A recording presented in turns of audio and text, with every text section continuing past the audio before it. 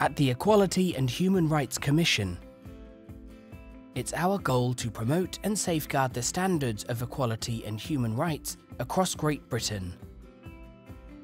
Protecting people's rights is at the heart of what we do. When people share data with us, it helps us reach our goal. Your privacy is incredibly important to us, and you have the right to know what happens with any data we have about you.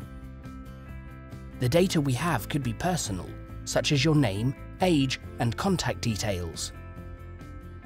It could include more sensitive information, such as experiences of discrimination based on religious belief or disability. Collecting this data makes us more effective as a human rights regulator, safeguarding and enforcing the laws that protect people's rights to fairness, dignity, and respect.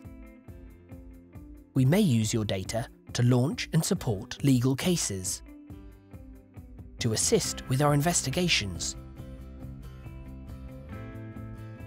or to raise awareness through newsletters and campaigns.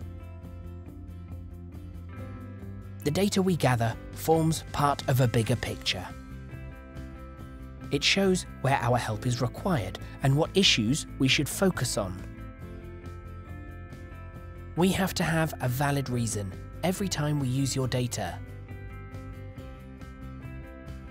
We only keep it for as long as we need to.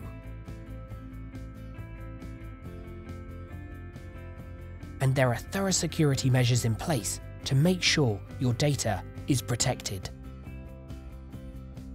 You will find more details about this in our privacy notice. So, to read more or to contact us about your data,